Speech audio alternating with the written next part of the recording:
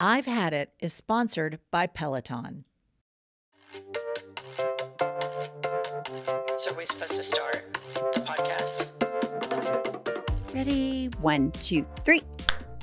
I mean, rock and roll. Killed it. You look so cute in our I Love I've Had It merch with the coordinating Yes. green jeans. Full rainbow today. Mima is the best model Yep.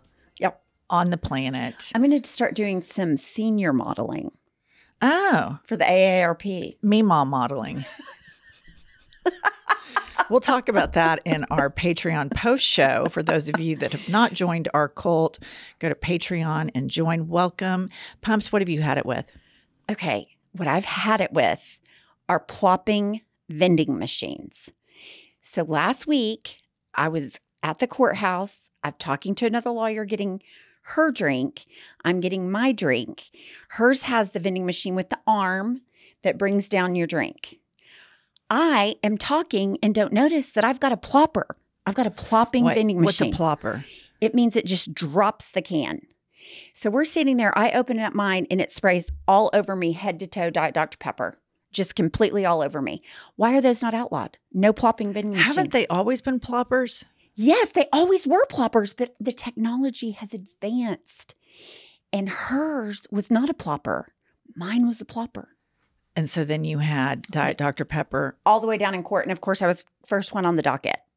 So I'm dripping Diet Dr. Pepper at court because the plopping vending machine. For best legal representation in the Oklahoma City area, contact Mima. Yes. And she the can plopper. I see. I always just thought it was a plopper. I don't know if I'm even aware of the arm. I, you know why? I don't drink Right. You don't get vending machine stuff. And if you do, Uh-uh. it's water. always water. So, yeah, no, there's still ploppers out there. But I would say probably eight years ago, like the airports um, converted to the non plopping with the ones with the arm. So the arm just goes up, grabs the drink, puts it down, slides it into your little hole to pick it up. With no bubble. Zero Activity. carbonation. No, zero. But in your case, it was just like the sagging dragons flopping down that vending machine, Yes. shimmying all the way It- down. that's a great comparison. It was the plop plop, sagging dragons, fizz, fizz. fizz fizz. but there was no relief. Absolutely no, really poor Mima, just fighting for her life out there at the Oklahoma. County Courthouse. Right. It's just not fun. Oh my gosh. Okay. Let me tell you what I've had it with. I've had it with people our age or older that are nostalgic about the old days, Yeah. that are like, you know, everything was just so much simpler back then and everything was better. And it's this revisionist history that somehow the old days Are were better. better. And I've been thinking about this a lot. And I don't think it's necessarily that the old days were better. I just think if you were a dick in the old days, you were less likely to be called out for it. 100% agree. Now, people with their sexism, their racism, their homophobia, being religious nuts, they get called out for it. Right. That's what they don't like. Sure. And so I've kind of had it with this whole uh, whitewashing of just, you know, these simpler, great times of old. And um, I think it's just revisionist history because I think most of the people that say this are kind of assholes Right.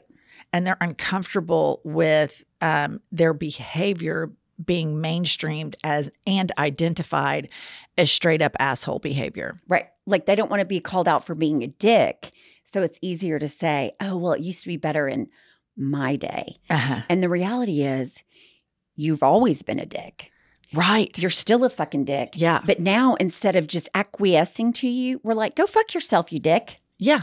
Exactly. They don't like it. Yeah, that's what I think it is because I've I've noticed some people saying this lately, and I'm like, hmm, Hmm. I wonder what was so good about the past. Oh, I get it. People didn't feel that they could call you a dick so openly. Right. They didn't feel like they could call out your misogyny or your sexism. So it was easier to be a dick back then. Right. You could get away with it. Right. Right. Bad Right. behavior was in the dark. Plopping, flopping machines, and Flopping, machines. dickhead behavior ran amok. assholes. Right. We're coming into the light. Yeah, and it always like reminds me of the uh, "Make America Great Again." Right. Before women could vote, Right, before uh, gay marriage was legal. gay marriage was legal, segregated schools. schools. I mean, Uh-huh. we want all that. We want all the racist homophobia that we can get Uh-huh. because that makes us feel better about ourselves Uh-huh. instead of acknowledging everybody's the same. We're all trying for the same thing Yeah, happiness, love. uh, kind of think there's some people that aren't trying for that. No, I know. There's some people. There's a that are- movement of rage. The Eh. rage movement is running amok. I think there's some people that are trying for control. Yeah. um, uh, yeah, No question about backed that. by rage. wholeheartedly That agree. do not want people to be happy and have love. no, they're mean. They oppose it. Which is interesting, isn't it? Yeah. Do you know how miserable you have to be to oppose other people being happy that has no effect on you?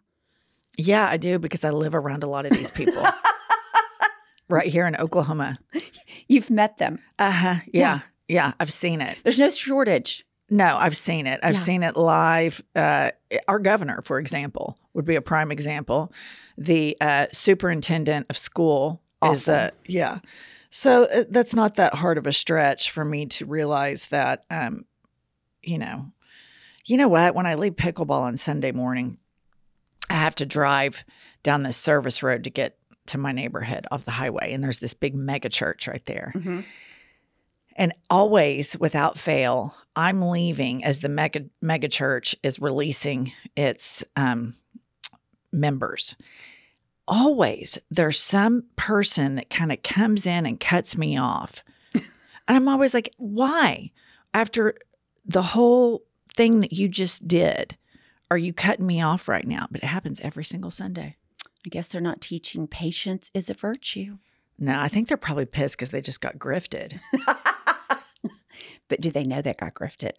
That's the question. Yeah. Yeah. I think what they do is they pay uh, the money to acquiesce the bad feelings on the inside. Right. Relieve the guilt. Yeah. That's what I think it is. I think that's right. Speaking of grifting, be sure to go check out our merch store and our Patreon. Welcome to I've Had It. I'm Jennifer. I'm Angie. Kylie is our producer. She has to work with us all the time when she's not working with us. She's editing our faces, which is to say that she has the worst job in the United States of America. Kylie, how are you today? I'm good. I'm even seeing you on the weekends now, Jen. Yeah. Oh, yes. I just can't escape. So, yesterday, I'm playing pickleball and I won seven out of seven matches, but that's neither here nor there. Oh, I was so I was desperate for that information. Yeah. Thank you. Yeah, no worries. And Kylie and her girlfriend Anna roll up, okay, and they have a court for an hour, and they're at the court right next to me. And uh, so I got to see out of my periphery, I got to see some of their pickleball moves. What'd you think? Um, I'll tell you what, they hustled for about three to four minutes, followed by a six to seven minute break, and then repeated. It was, it was like interval pickleball. It was like interval sprints of pickleball. I've never seen so many breaks in my life. It's all me too. I have to sit between every match for about five. Yeah, it was. I I was like, "Where are they?" And I was like, "God, are they taking another break?" Was it water induced break or was it just like exertion break? Exertion for me. Well, as we know, Kylie is That's- yeah, right. a dehydrator. That's what I was wondering. Like, is it dehydration, but it's just straight up exertion? And see, when you play with me, I get mad when the girls break for too long. I'm like, come on, my heart rate's dropping. Come on, let's go, go, go, go. Yeah. Uh-huh. But I think what's happening here is Kylie and Anna are training They're because training. they want to come. They want to come see if they can take the heat. Well, you just got to keep at it. You're okay. You got What- two things going for you: youth and lesbianism. Right. Exactly. And I'm just going to say this this is based on my own personal anecdotal evidence. Lesbians are better athletes than straight women. There's just, when I get my ass beat and really, really thumped, it's always by a lesbian. See, Kylie? I gotta say, when we showed up, we started watching Jennifer and her match for a while. And it was rough for a second. And she called after and was like, "I got stage fright when you showed Well, they showed up and they watched. they were watching, and I was like, I really want to crush it. And then I got distracted thinking I was going to like razzle dazzle them. So I took my eye off the ball a couple times. But then at the tail end, because they quit their court early because they were so exhausted. so they quit around 45 minute marker. They came to watch the tail end. What did you see at the tail end? we saw you win. Yeah. Did you see that stance? The get Serena Williams stance for the serve. I had to yell "get lower" at one point because it, was, it wasn't a ninety degree angle. What about that backhand down the line shot I hit? It was gorgeous. Do you remember that one? Uh huh. Placed it right back behind her. Clean winner. She didn't get a paddle on it. And what did you yell after every point? Vamos. Mhm.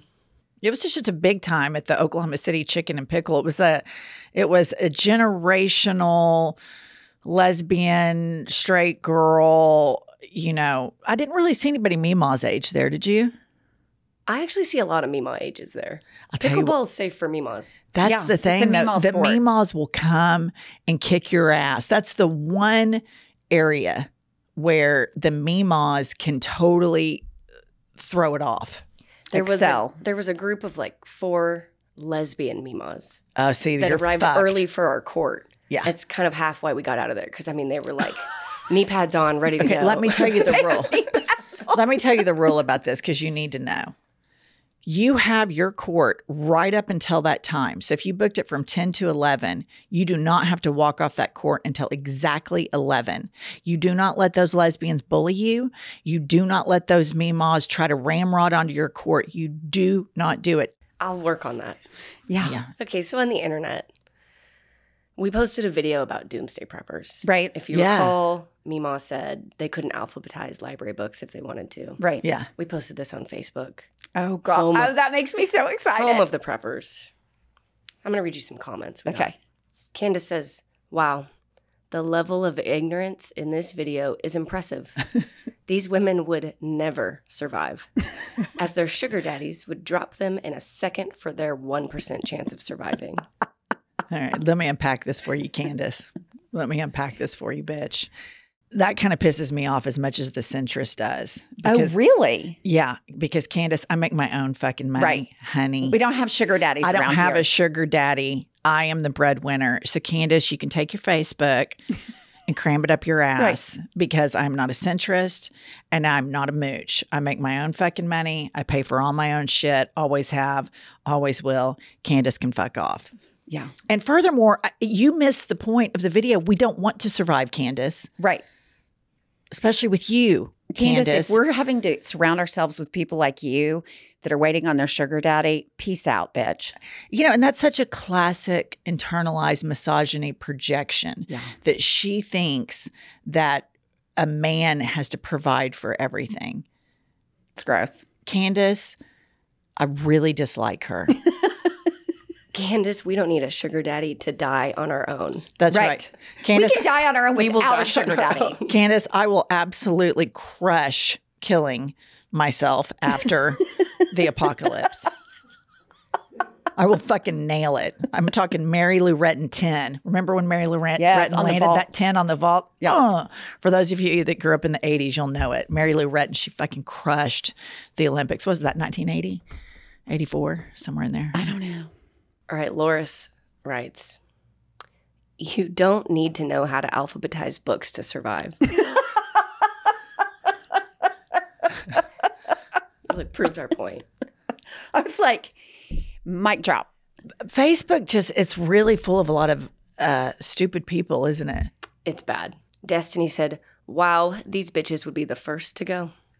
Good, Destiny. That's the whole point. Yes, we don't want to be with you all.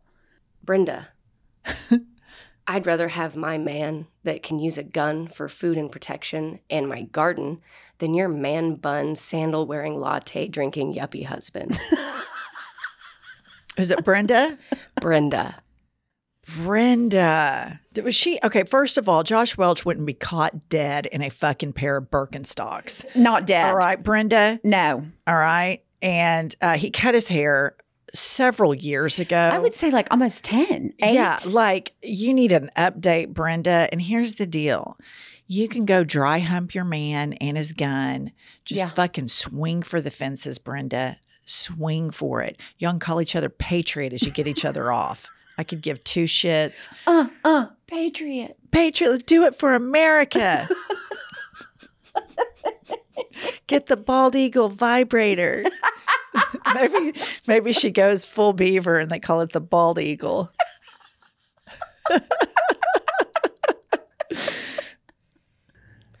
Okay, I've also got a news story. Seth picked out a couple zingers this weekend. Oh, good. So we'll see what you think. This one is about a retail business who uses a robot as a marketing gimmick. It's a, a robot wine sommelier. Okay. Okay, so these people went and they write, We ordered and it completely missed the glass and poured the wine directly onto us. And as a final flourish and a possibly humorous finale, the robot presented the empty wine glass to us, adorned with tips are appreciated. This was in the United States of America. this was in the US. Yeah, the tipping thing would have to That would be, the American. tip off. I have a funny story about that that's kind of on point. So one day I was at Flips, which you know was a bar everybody went to when we were young. And I'm sitting at the bar with this guy I'm dating. And I accidentally, as comes as no surprise, knocked my wine, or no, his wine, red wine, and it landed right in his crotch. Well, immediately in my head, I thought, oh my God, that's going to stain. So I picked up my water and threw it right on his crotch, all sitting at the bar. And he's like, what are you doing? And I was like, I didn't want it to stain. Well, my girlfriends come running over. They think we're like in a fight or something. So we had to leave because Did you start scrubbing his crotch area? You No, I didn't start You didn't scrubbing. grab a napkin and start blotting. Did you? Did you? no, because he was so shocked. He like stood up with his hands up and then he started doing it. I can so see you It's doing exactly that too. something I would do. You, it's like it's strike one, and then you just double down on it. Yeah. And he's just like, "What Was is this your happening?" ex husband? No, mm-mm. it was a law school friend. You probably should have chased that guy down I and should married him. I should have missed opportunity. I mean, he, Did, did you go on a date after that? yeah, yeah. I, mean, let me ask this: How did the date end? He ended up laughing it off. I mean, it was like we had to leave, obviously, because he had a bright red crotch that was dripping wet. So we went back to Norman, but it was fine. It- I mean, it was immediately funny because I was so pure in my intention. I was just trying to help.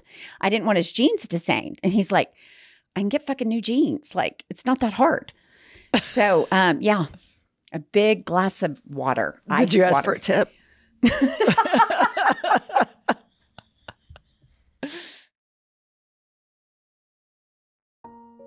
Do you suffer from having a parasocial relationship with two barely competent middle aged women? If so, please go to I've had it podcast.com or to any social media site. I'm talking X, formerly Twitter, Instagram, TikTok, etc., and click the link in bio and come see us at the Hot Shit Tour. Make your parasocial relationship real at the Hot Shit Tour. Right, Pumps? Tell them. It's so fun. We hope to see you there. Pumps, you know what the worst thing is about exercise? Starting it. That's exactly right. Starting it is everything. That's the most important factor when it comes to fitness. I can't tell you how many times I've joined a gym, then quit, then rejoin, then quit again. All of those days are behind me now because Peloton helps you start no matter what level you're at. Wherever you're starting, there's thousands of classes to get you moving, whether that's beginner or advanced rides, feel good live DJ rides, or artist theme rides. They've got something for you. Peloton bike instructors keep you motivated from day one. They'll show you the basics, help take the guesswork out of your workout, and encourage you to build from there. Peloton Entertainment keeps you moving as well. Watch your favorite TV shows and live sports as you ride. This is perfect for those days when you don't want to miss a thing. Wherever you're starting, get moving with a Peloton bike or Bike Plus rental at www.onepeloton.com slash bike slash rentals. Terms apply. You know, Pumps, I am so tired of feeling like a ticking time bomb when I don't want to. I wake up and think, oh, I want to tackle the day. And then I have these negative thoughts flood. And then I realize the contributing factor to this are hormonal imbalances. Hormonal imbalances can absolutely change your outlook on life. That's why I love Hormone Harmony from Happy Mammoth. You know that it can help relieve PMS, it can help regulate perimenopausal symptoms, menopausal symptoms, help reduce cravings and irritability before your period, and it can help keep your skin nice and clear. For me, it helps regulate mild mood swings, and I've also felt an uptick in my energy. Listener, Hormone Harmony is so effective. A bottle is sold every 24 seconds. There over 13,000 Hormone Harmony reviews on the Happy Mammoth website alone. Listener, you can get your first bottle of Hormone Harmony for 15% off if you use the code HADIT on the checkout page. Please go to happymammoth.com and enter the promo code HADIT at the checkout page.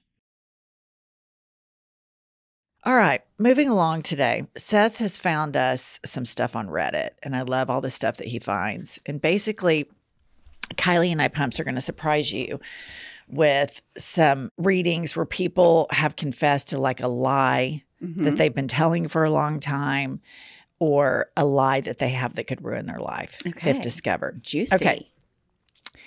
Big Breakfast One writes My interactions with people is almost 90% scripted just to fit in certain situations. I just picked up habits and routines of the people around me that I've noticed that worked to be successful in human interaction. I don't care about anything, and I barely care about anyone else. I enjoy company, but I don't need it. I do have friends and family around me, but I don't have a need for them in particular. I might be an undiagnosed psycho or something, but I do feel certain feelings. I wouldn't get good jobs or would not have friends if I acted my natural self. Probably would have been disowned by my family. it's probably about the most honest thing I think anybody's ever written on the internet. There's not a lot of that I can't identify with.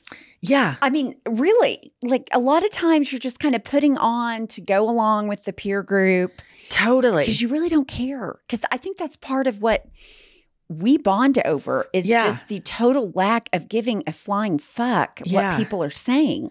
So I, I kind of think you're not a psycho, you're a revolutionary, you're a pioneer. That's what I think. I think that so much of what we do, we feel like we're supposed to Right. enjoy it, Social norms. especially when you're younger. Like you're in Yes. your teens and 20s, you think, oh, I'm supposed to enjoy this. Like I remember going to like girls' luncheons and girls' nights because in my 30s, because I thought, oh, this is what we're supposed to do.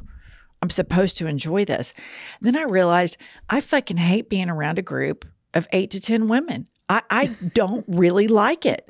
So you rarely see me do it anymore. It's a rarity because I just, there's a vapid nature sometimes about when they're collectively together. And then when I leave, then everybody starts talking behind everybody's back. And I'm just like, you know, I just, I- don't think I'm into this. And for the Yeah. longest time, I went along with it because I thought we were supposed to. Right. You thought you were the outsider. But then you realize as you get older, and that's one gift of Meemaw-ism, Uh-huh. Meemawville, is that you don't have to give a fuck Right. and you don't care what anybody says about whether you give a fuck or not. You Yeah. just assume that if they don't like it, that's fine because you don't give a fuck anymore. Yeah. I mean, that is the beauty of age because you're right. 20s, 30s, that's when you're very well, How- and middle How many school and high baby showers have you been to and you left and told everybody, oh, I had the best time? And really, it was a snooze fest. Yes. You hated it. I hated the sandwiches they served. I hated the cake. I hated the cookies with, you know, baby shower cookies are awful. They're so hard, eh, but they go all in on the decor. Right. The decor's eh, really super cute, but then the cookies taste like shit. Hammered dog shit. Yeah. And I really consider myself to be a cookie connoisseur. Kind of an expert. I have a sweet tooth, and I would much rather just have a proper cookie than some cookie with your kid's horrible name written on it in some cheesy ass font. I've had it. This guy on Reddit, I think that might be the most relatable thing. I agree. Alternate reality, sociopaths unite. Yep. Mm-hmm. And here's something else that since you said this, I just went to a shower recently and my daughter and I get in the car after the shower because everybody gives a gift that's on the registry. People tell you what they want. It's on a registry. All you have to do is order it. It's not hard. Right. There's always, Oh, yeah. there's always someone that thinks they have a better idea. It's the rogue gift givers. The rogue gift givers. It's like, bitch, please. They put a registry. They told you what they wanted. it's a layup. It's a layup. You cannot fuck it up. It's flaw proof.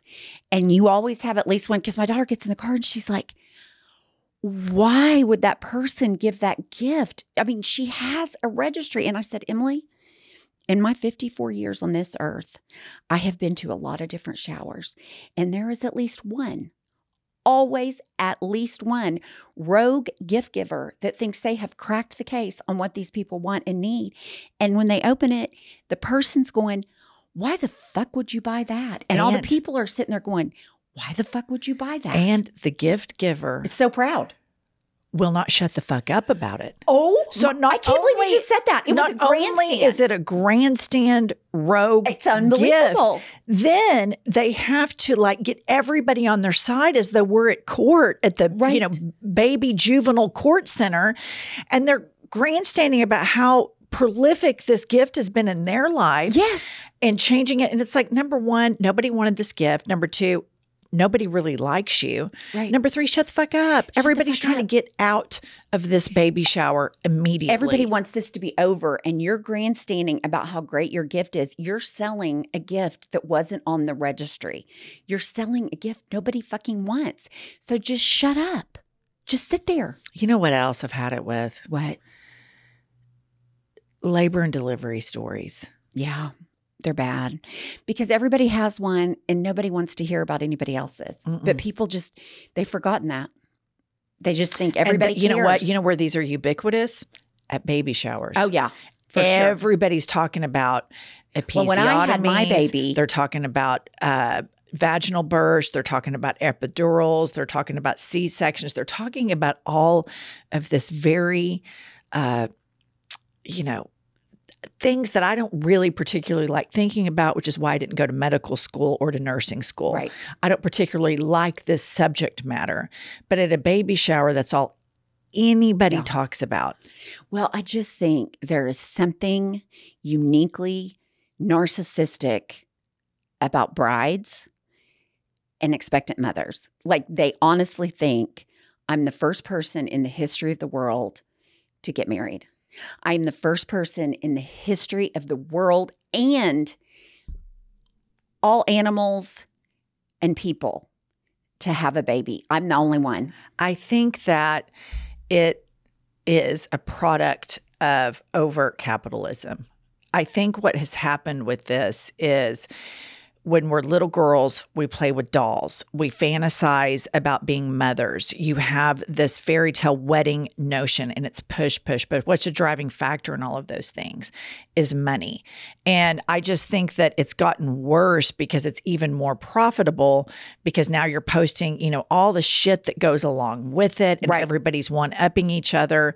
And I just, enough, everyone. Enough. All right, feline of the sea writes After graduating from high school, I went to a small out of state college where no one from high school knew me. I decided it would be great fun to go through college pretending to be from Australia. All of my friends and even my girlfriend of two years think I'm Australian. I have a completely fake Australian identity, family, past, and accent. I will soon be graduating, and I plan on asking the girl to marry me. Everything she knows about me is Australian, and I don't know how to tell her she doesn't really know me. Guess I'm forever a bloke. Okay, here's a couple of parts to this.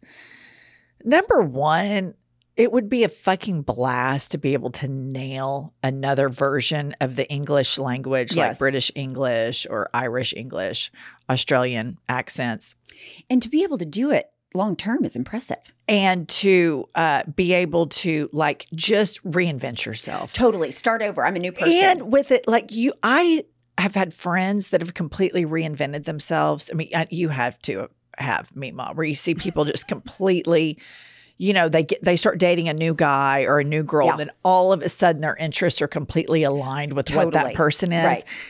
I like the ambition of this one. It's a it's a full blown reinvention. The don't think- problem is he's fallen in love.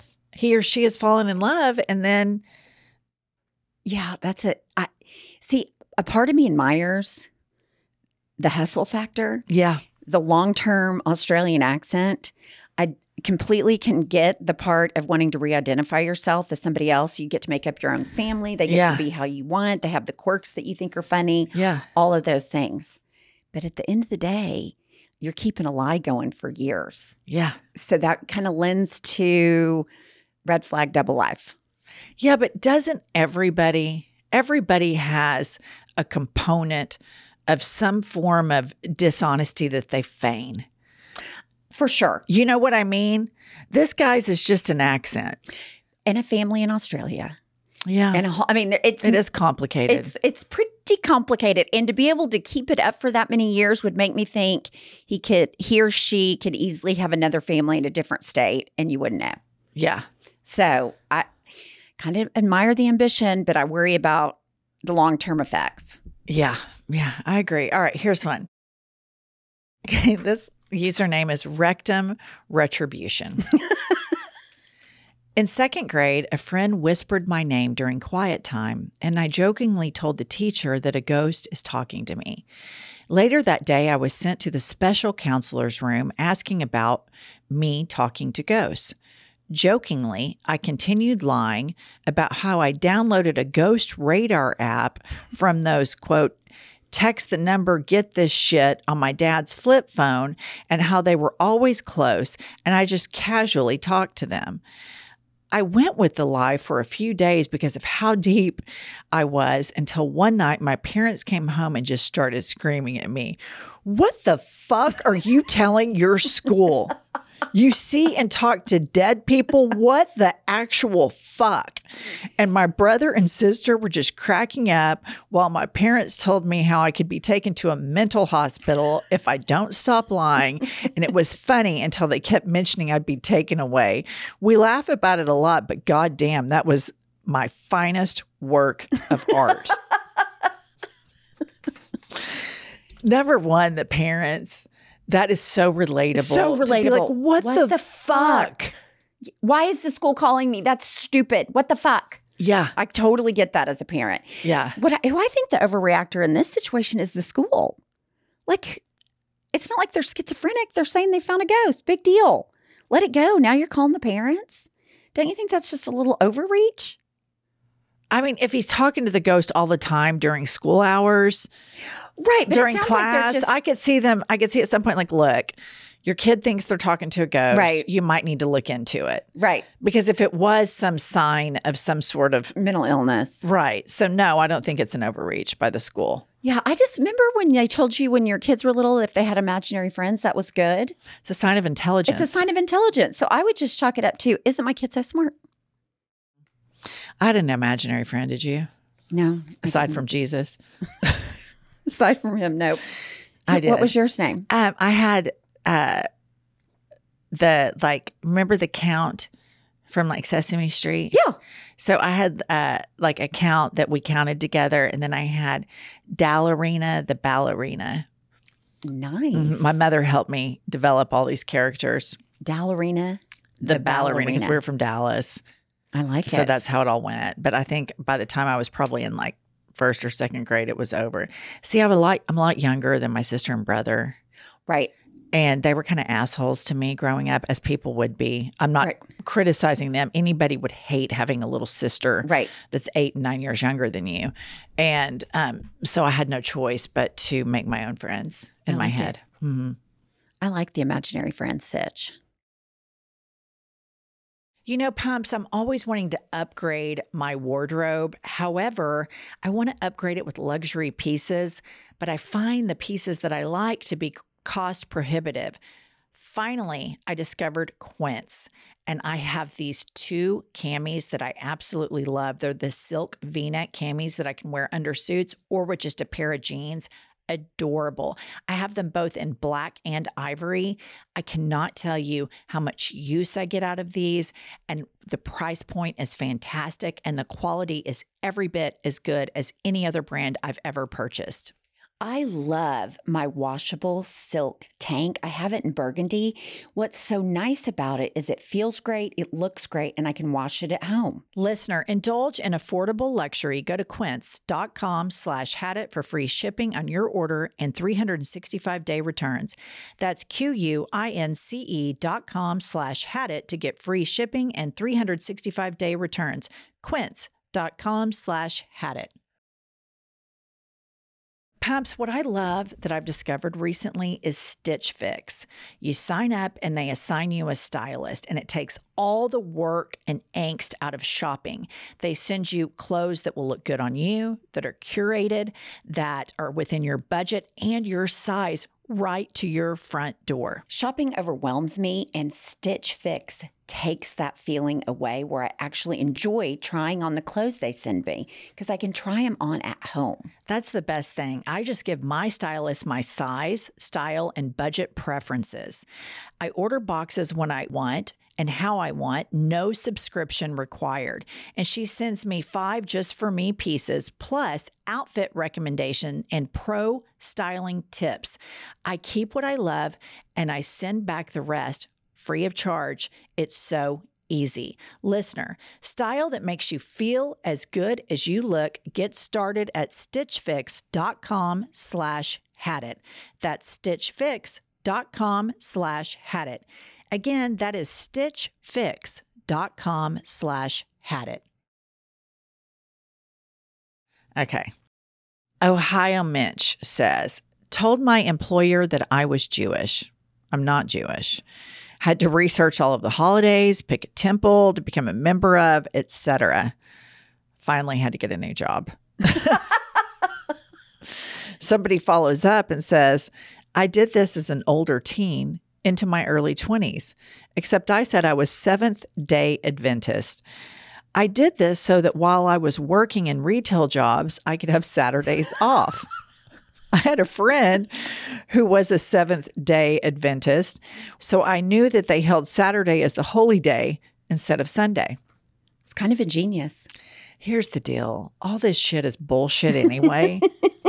you might as well just be like, oh, yeah, I'm totally this. I remember like the suburbs that I grew up in, everybody was so religious. It was just easier for me to fake being a Christian than to go through the whole, I don't believe any of this shit. Right, starting at eight years old. It was just, no, I didn't start at eight because I really didn't know what. But what I mean, they started was. asking when you're super young. So you, you just have to roll with it. Like, yeah, the last couple of years of high school, it was just easier for me to just feign. Yeah. You know, and people are like, what's your favorite Bible verse? And I'd be like, oh, John 793. you know, I mean, it was just easier, even though like I did not believe any Right. of it. But they were just so eaten up with it. And then if you if you told them that you weren't, good lord, the problem with Christianity is how codependent it is. They're relentless. I mean, absolutely relentless. And the recruiting aspect of that is the biggest turnoff of Christianity. the recruiting. And I think it's unhealthy. It's like everything that mental health tells you not to do. You know, mental health tells you mind your own business, stay in your lane. Christianity, evangelical Christianity is you get up in that shit. You get up Go, in there. go, go. You get up in there and save a life.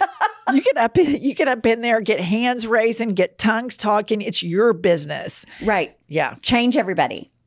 Had it. It's Had it. unhealthy It is unhealthy. and toxic. It is. And a turnoff. Yeah, and a grift. Okay, this one says IT guy here.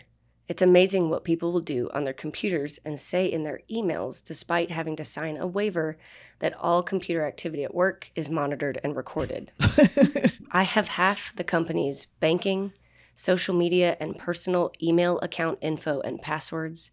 I know who is secretly banging who at the office behind their spouse's back. I know who is cybering at work and jerking it in the bathroom almost daily Oh my God. or at least they tell their sex chat partner they're running off to the bathroom to jerk it. I haven't felt the need to check the validity of that one. I know when people are having marital problems, financial problems. I know who is embezzling money. I know when people get fired for completely bullshit reasons, like they just want to replace them with someone younger and nicer. And I know who my boss is buying drugs from. Ooh. Basically, I have a treasure trove of my coworkers' secrets. I won't actively do anything with this info, but it's nice knowing I have the ammunition there if something were to ever happen.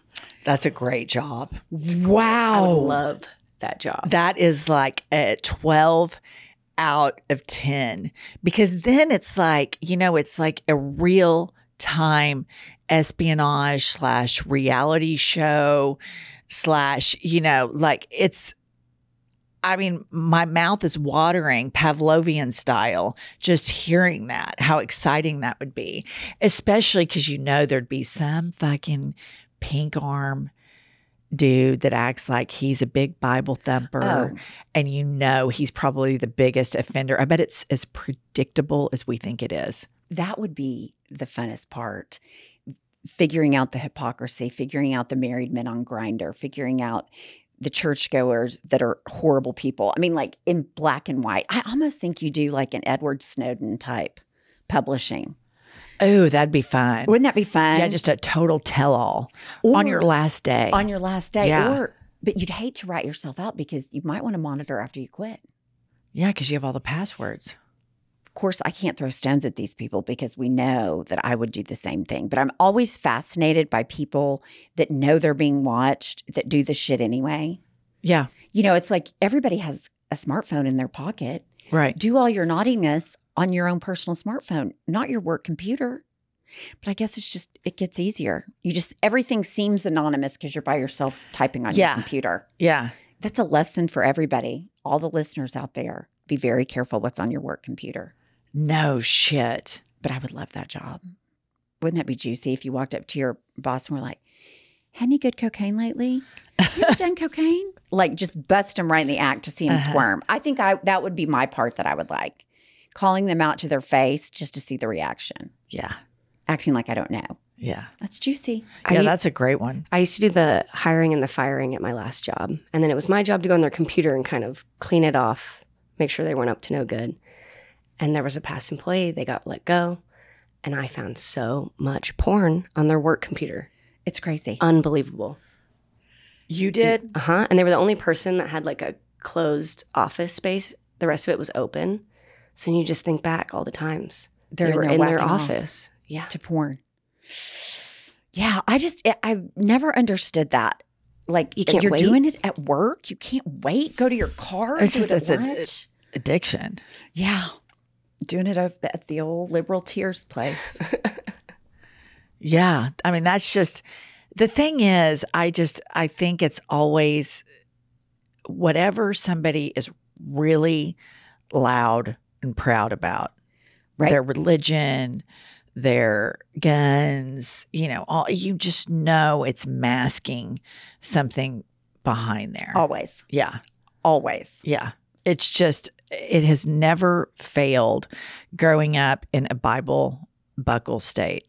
The more religious somebody is, the more screwed up I know they are. hmm They're racist, they're homophobic, they're judgmental, they're not overtly kind to people. It is just, and then when you get into the men, the men are screwing around on their wives, screwing the church secretary, screwing their best friend's wife. You know, it's just a total facade and grifts. Speaking of grifts, again, join us on Patreon for a post show.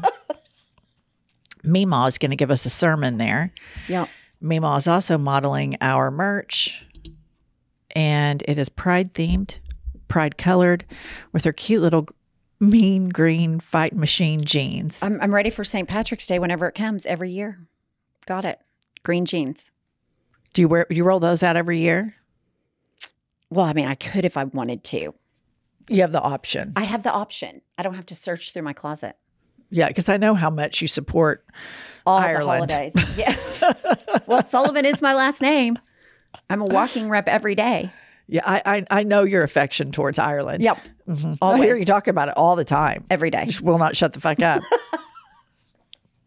Actually, we do have a lot of listeners in Dublin. Shout out Yep. to Dublin, Ireland. Your Meemaw is here repping your favorite color. Ready. They're probably like, shut the fuck up. Nobody here even likes green. Um, all right. Well, that's going to be our show for today. Please join us on Patreon for our post show. Come see us at the Hot Shit Tour. Tell them, Pumps. We will see you next Tuesday or Thursday or both.